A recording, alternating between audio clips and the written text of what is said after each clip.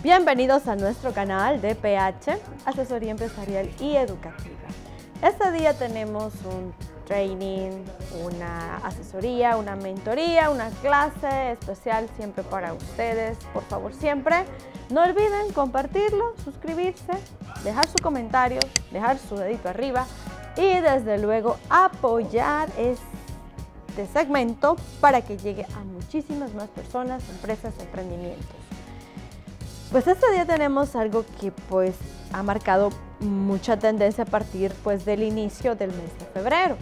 Esta tendencia se marcó muchísimo eh, a través como un documental, a través como una serie, pero es importante eh, conocer las tendencias que hay a nivel pues tanto cinematográficas, empresariales, de juegos, de documentales, conocer nuestro entorno para poder identificar cuáles son aquellas fortalezas que desde luego debemos de potenciar, cuáles son aquellas oportunidades que debemos de aprovechar, cuáles son aquellas debilidades que debemos de reducir y también cuáles son aquellas amenazas que en un momento determinado debemos de eliminar. Entonces, esto es muy, muy, muy importante para que ustedes lo tomen en cuenta y lo consideren.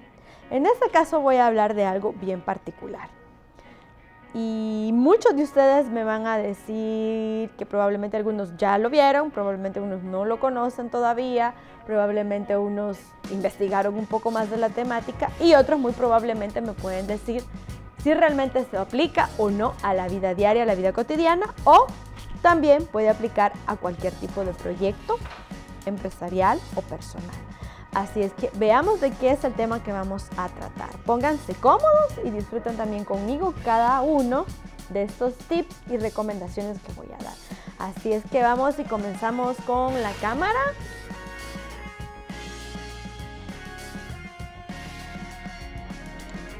¿Listos? ¿Listos para anotar? ¿Listos para apuntar? Ok. Vamos a comenzar entonces con la temática cómo evitar estafas. Es decir, algunas maneras, algunas tips o recomendaciones son las siguientes.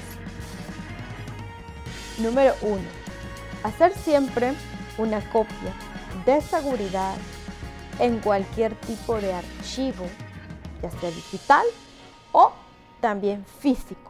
Esto es importante ya que existen muchas variables atípicas y comportamientos, tanto en la web, sobre todo, como a nivel físico, que puede originar en cualquier momento determinado cierta falsificación o en algún momento determinado una copia en la cual sus datos pueden estar en peligro.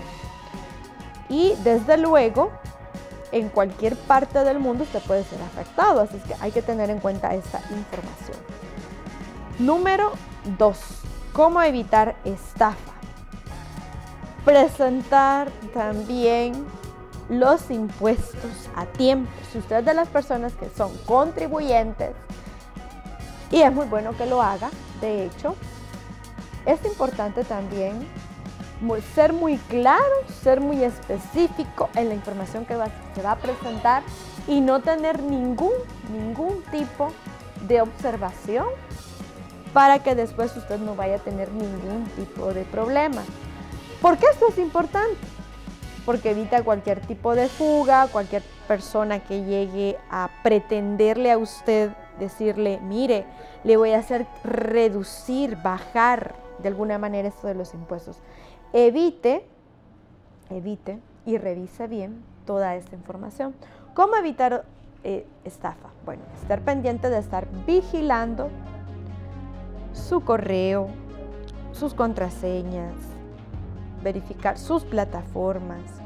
Es importante para que no venga nadie a suplantar ningún tipo de identidad y sobre todo las contraseñas esté muy pendiente, muy pendiente de estar renovando, porque hay personas que le pueden mandar cierta información que no vaya a ser real o no vaya a ser acorde a lo que solicita también la plataforma en la cual usted está inscrito o donde usted maneja todas sus finanzas. Por eso es importante que sus correos electrónicos sean muy personales y también sus contraseñas sean también muy personales. Número 4. Vigile las cuentas existentes.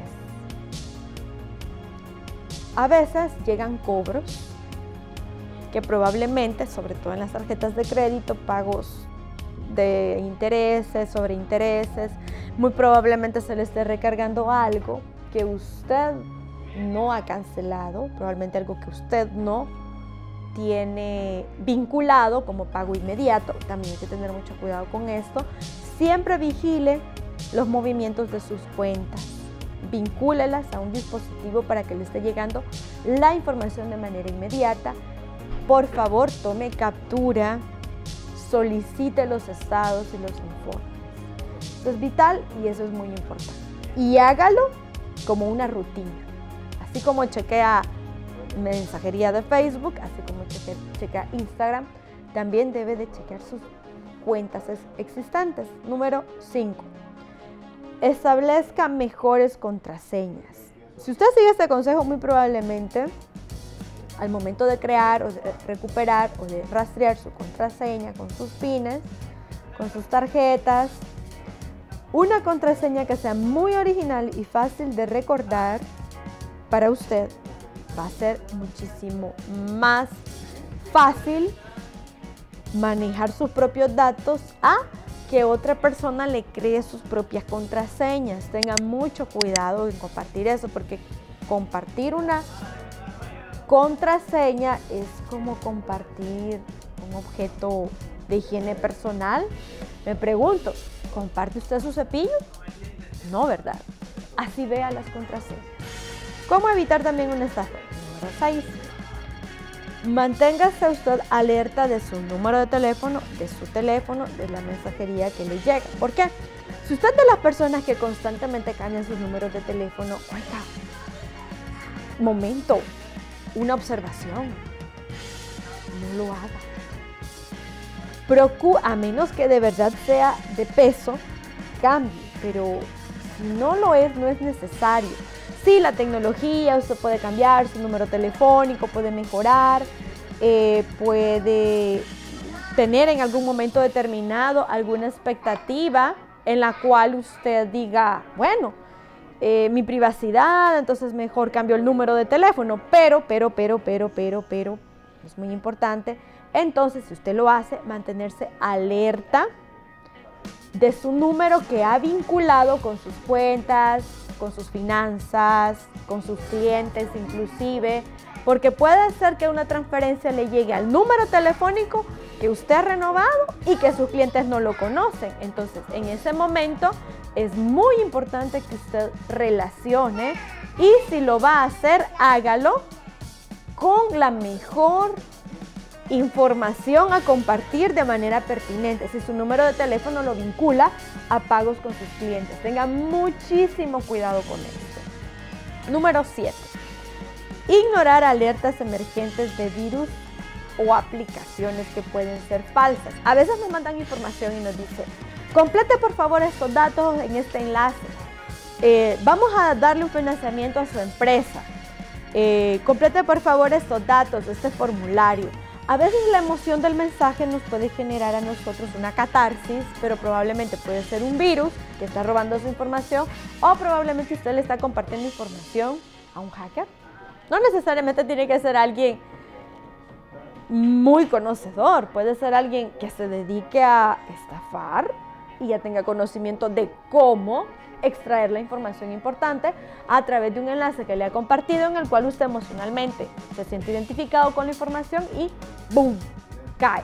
Cae con la información de dar y compartir sus nombres, sus contactos, sus cuentas, sus pines y ojo y mucho cuidado con eso. Si tiene una duda, mejor llame a la institución financiera hasta que la institución financiera responda la duda que usted tiene o llame a quien tenga que llamar, inclusive si es un cliente, también verifiquemos si la información, los pagos o inclusive si es un proveedor, también verificar si le estamos realizando el pago al proveedor. De esta manera usted puede evitar cualquier tipo de estafa y recuerde, conocer muy bien el sistema que usted utiliza, la aplicación que usted utiliza conocer a sus clientes, conocer a sus proveedores y lo más importante, conocer sobre sus finanzas, el orden que usted lleva, para que tenga el mejor de los panoramas y evite cualquier tipo de estafa. Así es que concluimos con esta temática. Recuerden por favor siempre suscribirse, compartirlo para que más personas se enteren sobre los beneficios que tienen estos segmentos y todos los segmentos que tiene nuestro canal que es para ustedes. ¿Quieren ser parte del equipo Alfa de PH, parte de este gran equipo? Suscríbanse, es gratuita la asesoría. Claro, si usted quiere asesoría más personalizada, focalizada a cualquier tipo de producto o servicio, la mejora continua, un plan de negocios, dependiendo de la entidad financiera que lo solicite, desea mejorar la calidad de sus productos, de sus servicios, aquí estamos. Ahí dejo los contactos para que usted se pueda comunicar con nosotros y poder resolver, hacer una solución integral y desde luego para ustedes. Así es que PH Lovers se me cuidan, les deseo feliz inicio de semana, muchos besitos para todos y nos vemos en el próximo segmento. Saludos.